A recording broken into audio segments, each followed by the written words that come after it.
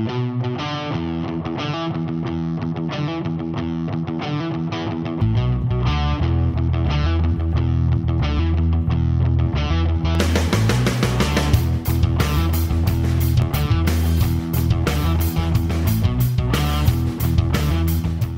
New Year's, Roadrunners fans, and thank you for joining us as we begin another edition of the Roadrunner Review, the 30-minute magazine show that features Metro State sports and highlights from the past month.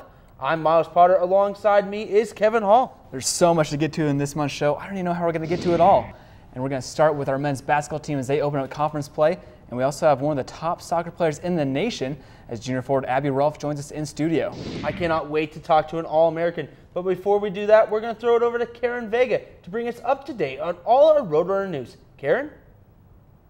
Thanks, guys. Can't wait to see if the men's basketball team can keep up their extraordinary play as they enter RMAC action. Hello out there in TV land, I'm Karen Vega, and let's get you caught up on some Metro State news. First up, the 2014 Metro State Hall of Fame was announced this past month. Five individuals and one team will be inducted into the hall on Friday, February 14th. The class is led by women's soccer defender Nicole Cito, who played in 97 games with the Red and Blue and won RMAC Player of the Year and Defensive Player of the Year in 2008. Check out GoMetroState.com for more information on this year's class and how to get your tickets for this prestigious event.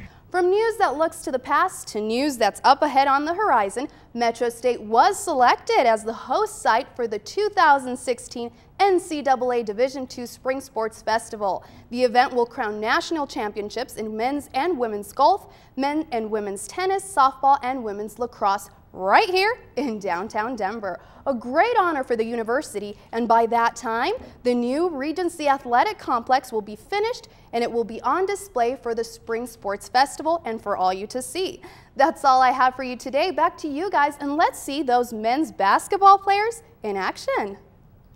Thanks, Karen. And what a great honor for Metro to be selected for that event. Yeah, it's going to be good to put Metro State back on the national stage. Had some exposure with their basketball team.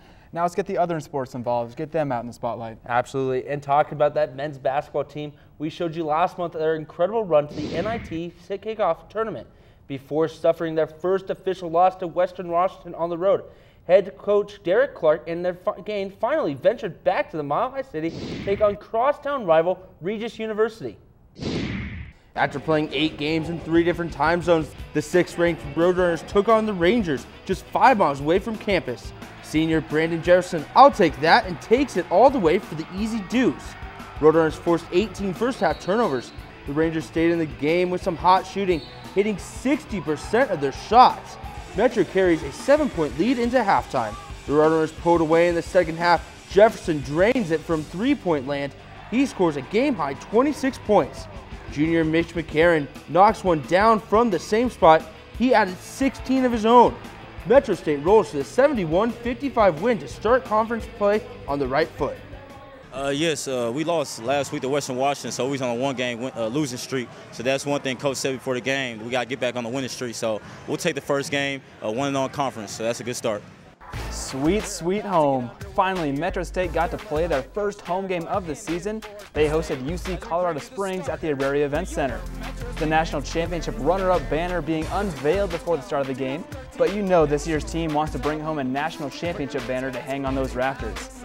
Jefferson coming up with the steal. He leads the break, finds McCarron for the reverse layup. Home team up early, 8-0. Jordan Carter muscles his way in the paint for two of his 10 first half points. He led all Mountain Lions with 11.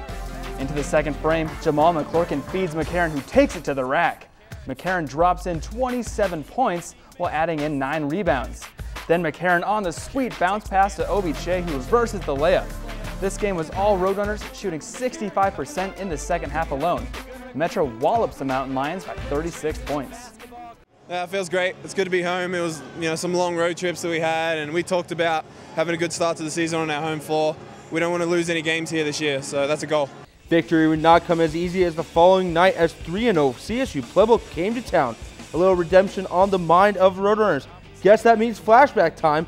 At the end of last season, the Thunderers came into this very same arena and and defeated Metro State on a last-second shot. It was the only home loss for the season for Coach Clark and his squad. Fast forward back to present, Jefferson left wide open from behind the arc. He drains it and Metro up early. Dylan Frisch cashes in the trifecta for the Thunderwolves. Backup guard almost single-handedly kept his squad in the game with five first-half threes. Julian Cotterill at the first-half buzzer. It falls in and the game's tied at 45 apiece. This was a back-and-forth barn burner as both teams countered with big shots after big shots. A late run by Metro would put them up by 10. Kay fighting his way through the bum ankle for a couple three-point plays. Pueblo rallies late and scores 13 points in less than three minutes to get the game within two. A late foul gave Pueblo a chance to tie the game with less than one second left on the clock. Nathan Tigner misses the first free throw. He would have to miss the second. He does, but there's a lane violation. There would be no late game heroics for the visiting Thunderwolves this time. Metro State wins a great game 94 92. What it was is we had some surprises in a good way. Jordan Hunter comes in, makes three out of four from the three point line. Um, we just made high pressure play after high pressure play. When they made big shots, we came back and countered. So, you know, that's what a veteran team does. It learns to win the games in different styles. Metro State is off to a blazing 5 0 start in the conference. They are tied for first, equaling their RMAC mark with Colorado School of Mines. And guess what? These two teams will square off quickly in the new year as the Roadrunners will host the Ore Diggers on January 11th at 7 p.m. at the Auraria Event Center. I cannot wait for that game against Colorado Mines. It's going to be an exciting game. Should be good. And then last time Mines came in, they broke our backboard. if you cannot make it out, you can check out America1.com to watch it online. Still to come on the show. The basketball season is well underway, and we have some incredible plays from this past December that you absolutely have to see in our top play segment. The Roadrunner Review would like to thank its sponsors Jason's Deli. Real food is fresh, higher quality, more flavorful, less processed, and naturally better tasting. Get real food at any Jason's Deli location. And the Boulder Broker Inn, a proud partner and preferred hotel for Metro State Athletics. Welcome back. We now look to our women's basketball team who's coming into the 2013-2014 season with a brand new squad, looking to make some progress after that 1-3 start. Head coach Tanya Haave is working overtime to teach his band of new players how to play Roadrunner basketball, and they took on Regis University on the road to start the month. The Roadrunners looking to avoid their first ever three-game losing streak in the Coach Haave regime, but they had a tough task taking on those Rangers at the Ranger Fieldhouse. Senior guard Cassie Lambrecht led the way for the red and blue in the first half. The Colorado Springs native scores 11 points, mostly coming via the layup, as Regis had no answers for her quickness. Sophomore guard Elena Velasquez comes up with the steal and goes all the way up for the easy deuce. Metro heads into halftime with a 35-27 lead.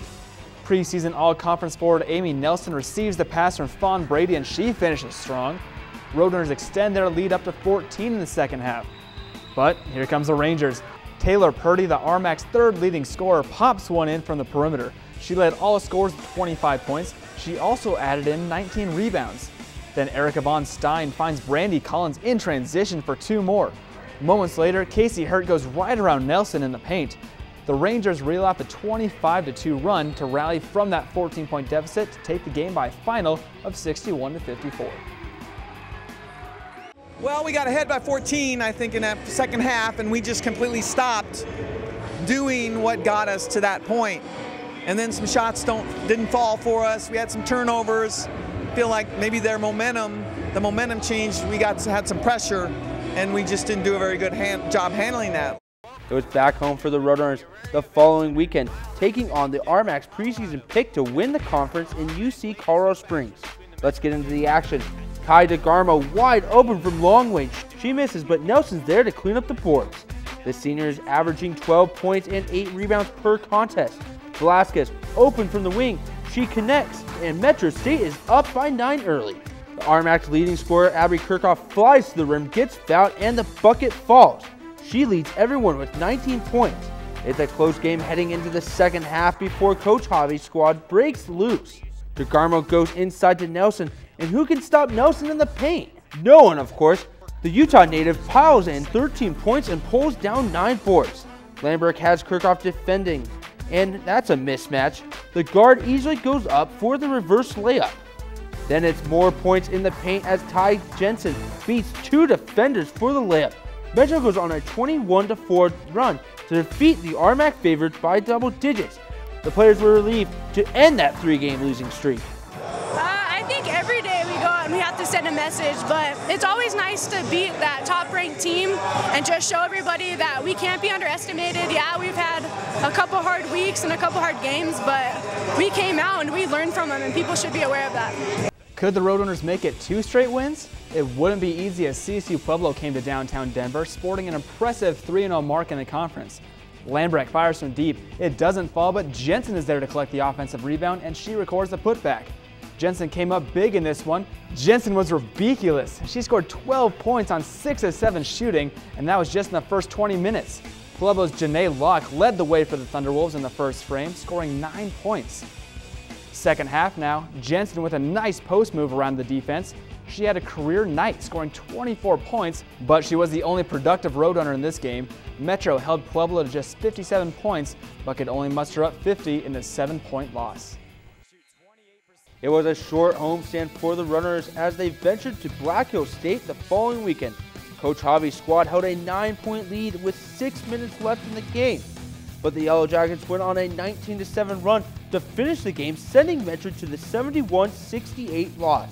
The following night, it was the Roadrunners who rallied, erasing a 14-point deficit to steal the 7-point win. The Red and Blue outscored the Eagles 36-15 in the final 12 minutes. Yeah, rough start for the season, but you know Coach Haave will have that team turned around here in no time. Yeah, some new players, so there would be some chemistry issues early on, but they're starting to pick it up. Absolutely. And still to come on the Roadrunner Review, we had some ridiculous basketball plays that will ring in the new year in grand style.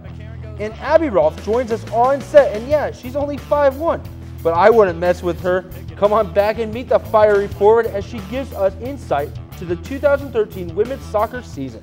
Are you a college student that needs a place to live? Are you still living with your parents and want your own space? The Regency Student Housing is perfect for you. The community offers many amenities such as a fitness center, two basketball courts, big screen amphitheater, all you can eat dining hall, bowling alley, arcade, free parking, and a shuttle to and from the Auraria campus. For more information, please call 303 477 1950 or visit our website at regencystudenthousing.com. Some students come to Metropolitan State University of Denver to find their future. Others look to sharpen their current skills. In the case of David Thibodeau, it was both. Our faculty helped fuel his entrepreneurial spirit while encouraging him to pursue his personal passions. These two talents came together in Ska Brewing Company, which he co-founded in 1998 in Durango and is considered one of the top up-and-coming Colorado companies.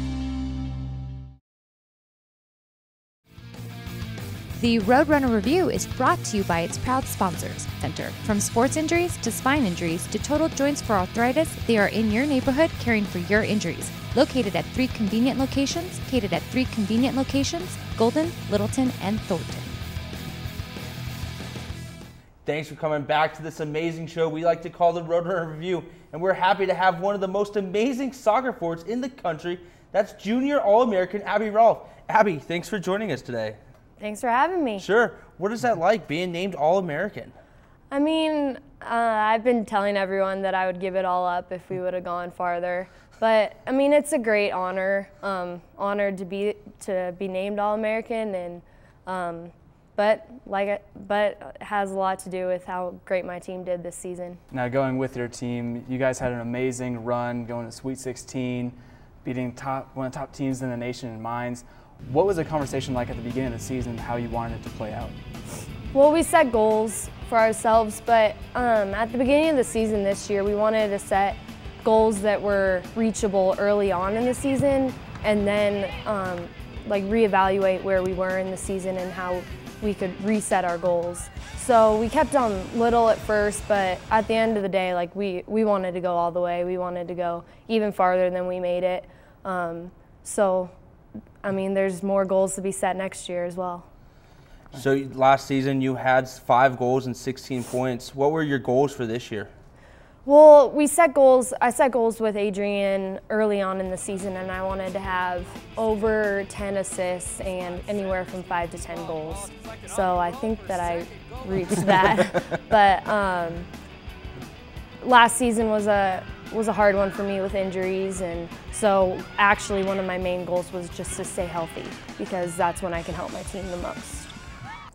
So when you were healthy, especially at the start of the season, you guys had an amazing run, were undefeated for a long time, had a great defensive like backfield and not allowing many goals.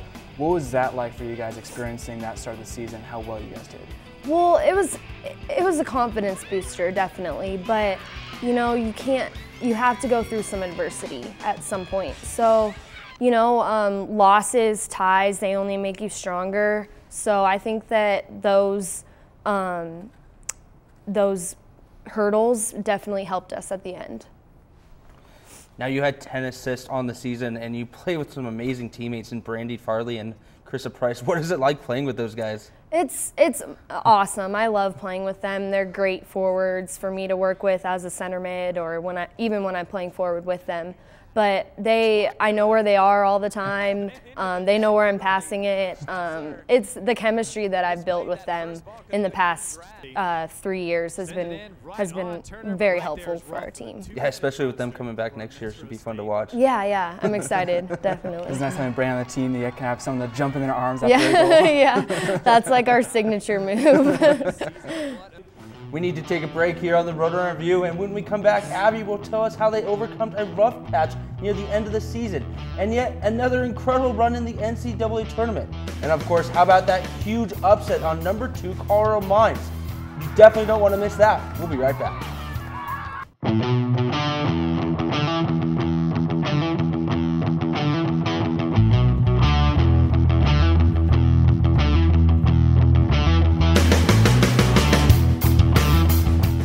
Metro State Roadrunners, one of the most successful Division II programs in the nation. Six national championships, 65 conference championships in the RMAC, 248 All Americans. The season is almost here, and admission is free for all students. Great prizes will be handed out at select games, so make sure you're in the crowd. You can also follow the Roadrunners through Twitter, Facebook, YouTube, and GoMetroState.com. Get in the game and get rowdy. We're back with all conference and all South Central Region forward Abby Rolph for our women's soccer team. Abby, you were also named All American in the classroom. Is that really important to you guys on the soccer team? we set we set goals for academic um, academics as well. So um, yeah, it's it's really important. And for myself, I'm extremely competitive with myself. I'm hard on myself. So grades included. I don't like to I don't like to slack off in the classroom. So yeah, it's it's important for us. Do you have like a favorite subject that you prefer um, that you do um, best in? Well, not really. I um, just great at it all. no, I my major is sports industry operations, which I enjoy all those classes. I think because I've always been into sports and the teachers are great. Uh, usually in there with some athletes, so it makes the classes a, a lot of fun. And now switching back to the field, near the end of the season, you guys struggled down the stretch a little bit, losing three of your last four mm-hmm. semifinals of the RMAC tournament. And all that had to do with injuries along the defensive line, especially. Just take us through that last couple of games. Well, that's a hard stretch of the season. Um, you're, you've got a lot of schoolwork. Um, you, I mean, the uh, the last we had a tough end of the season, um, just schedule wise, and so it was. We knew that at the end, like at the end of the season, what really mattered is that we were in the tournament, and that that's what gets us the farthest. I mean of course, winning the RMAC, winning the conference tournament, that's all great stuff, but at the end of the day, you want to go the farthest in the NCAA. So uh, we just had to refocus and go after what we wanted. Your team was good enough to make it to the NCAA tournament for the 12th straight time, and you guys did beat Midwestern State. What is about this team that you guys like the NCAA tournament all of a sudden. I mean, we talk about tradition a lot, and it's tradition to make it. I mean, we we have two national championships, and um, of course we want another. So uh, first step to that is to make the tournament, and uh, lucky enough we did we did what we had to do in, in the season. But it's that's that's what we that's what we play for. Yeah. Now your next game, conference foe, Colorado Mines, number two in the nation hadn't lost all season, haven't given up two goals all season. You guys come in there, take the victory. What was it like beating them on their home field, final buzzer going off, everything? I can't explain the feeling. Like it still makes me smile. um, but it was it was amazing. One of the best games I've ever played in, and I played in a national championship before. So, and that one was just amazing. Like I can't uh, we came out on fire. I think they just didn't really know what hit them. And they were on their heels, and we, we played a full 90 minute game, which isn't easy, especially in the wind. It was really windy that day, and um, it was amazing. so, would you peg that as your favorite moment of the season? Yes, definitely. it was awesome. Now, what can we, as Roadrunners fans, expect for 2014 from you guys? Um, expect more. um, we this wasn't. I mean, Sweet 16 is awesome, but we want to make it farther. So, um, like I said, set little goals for ourselves and um, hope to come back stronger and make it farther. Abby, thank you so much for joining us here on the Roadrunner Review, and best of luck next season. Thanks, guys. Sure. And Roadrunner fans, we'll be right back with some top plays from the past month. We know you want family-friendly sporting events. Sporting events where you can be comfortable. And entertained in a positive environment. Watching great individuals and teams compete. With commitment, effort, and good sportsmanship. That's what the Division II Game Environment Initiative is about. Be a part of the excitement and find out why. These student athletes say with pride, I chose. I chose. I chose Division II. Thanks for coming back as we head down the home stretch here in the Roadrunner Review. While the winter season is just underway, the fall season is one that saw many success as well as some incredible performances. This fall season was really one to remember from volleyball defeating highly ranked Colorado Mines at home to our men's soccer team upsetting Regis on their home field. So turn up the volume as we bring you the sights and sounds from this past fall season.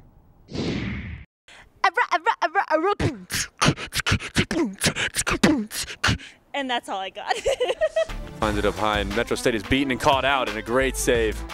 Oh my, that was close. Now she's got nine goals on the season. What a day for Brandy Farley. Ball gets centered into the box header and into the net. Brandy Farley, and that'll be the hat trick. I'm Kevin Pocalco, senior midfielder, Metro State men's soccer, and you're listening to the. Oh, oh yeah. Oh. How's the body holding up so far? Good. Um. That's the worst answer ever. now Van Lith over to Heath. And she has that one. She gets the kill, and Alyssa Heath ends this match with a monstrous kill. It feels so good. Like we knew coming out that this team was going to be really good. They're one of our main competitors, and we were just all fired up because it's our home game.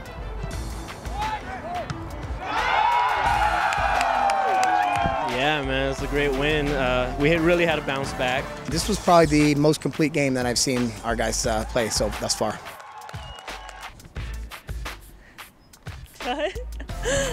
I'm Nicole Pollock, senior midfielder for Metro State Women's Soccer, and you're watching Network.